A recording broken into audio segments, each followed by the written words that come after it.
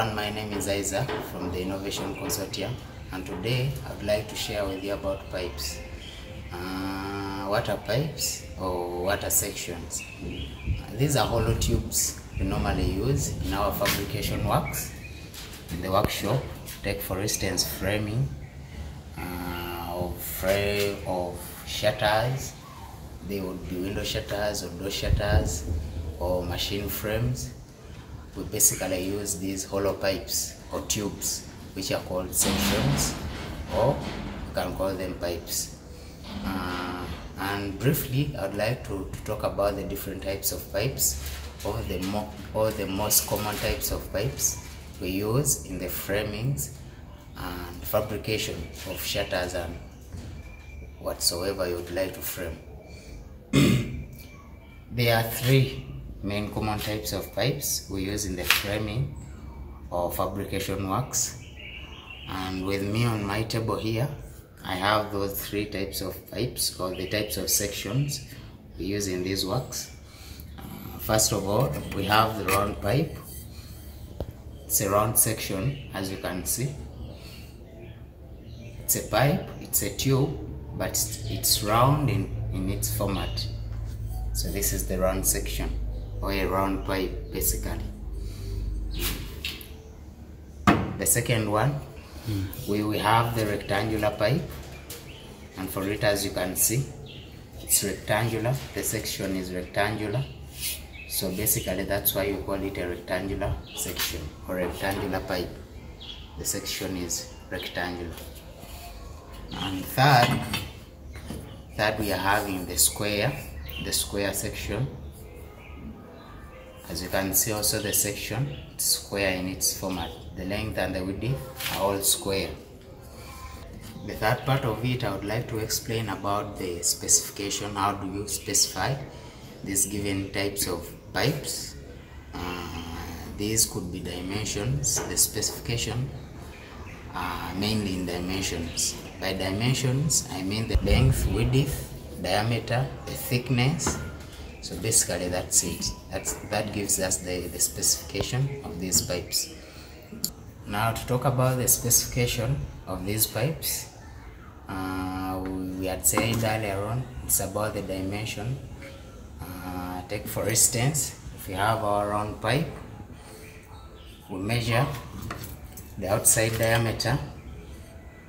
Uh, we measure also the bore or the inside diameter with the help of these vernier calipers you measure the bore plus maybe the thickness. But once you have the the outside diameter and the inside diameter the thickness will be automatic.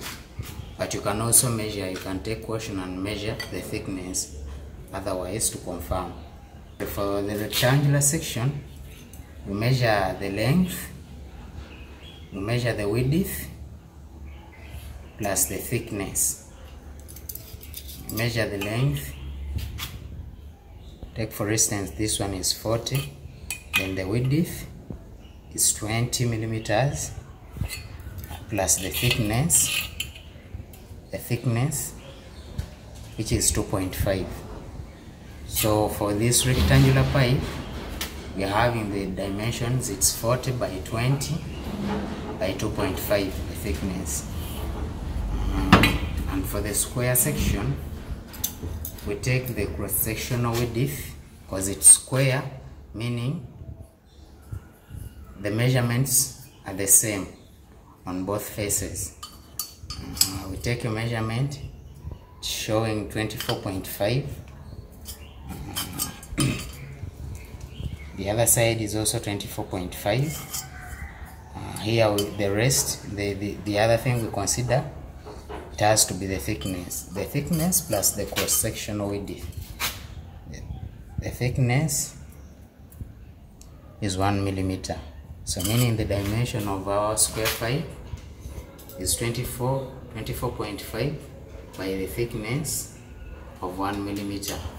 Now for the overall length uh, this one is we've cut just samples but the standard overall length for all pipes be it round be it square be it rectangular it has to be 5.8 or 6 meters. 5.8 meters or 6 meters.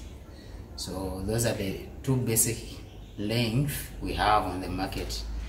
Now for for, for, for our pipes once you you might be having a job and you, you might not need the overall length of a pipe which is 5.8 take for instance if you need only 2 meters uh, you can access the Buma app on the Google Play Store. You download it. It's called the Buma app. It's free.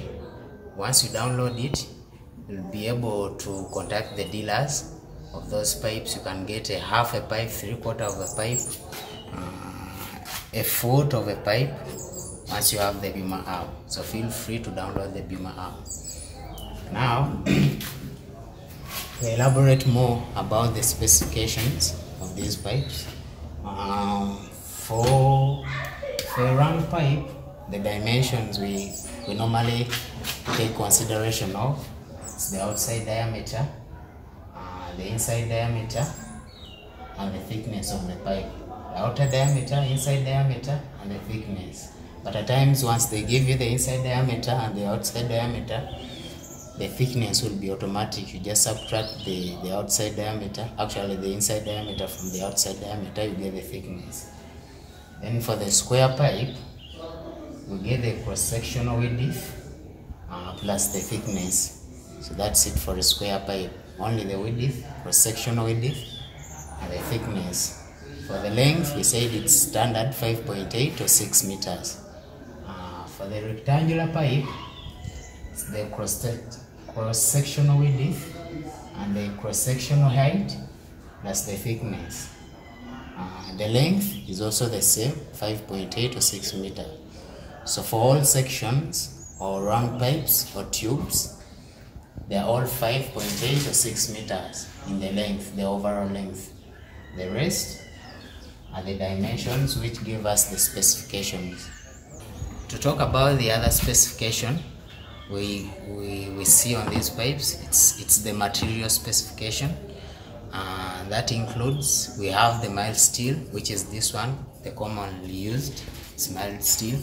Uh, we have stainless steel which is also commonly used in the food food food processing industries.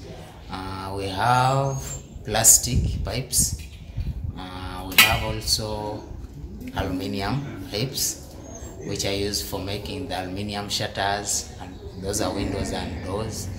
Uh, so basically that's it the material specification. I remain isaac from the innovation consortium. Thank you very much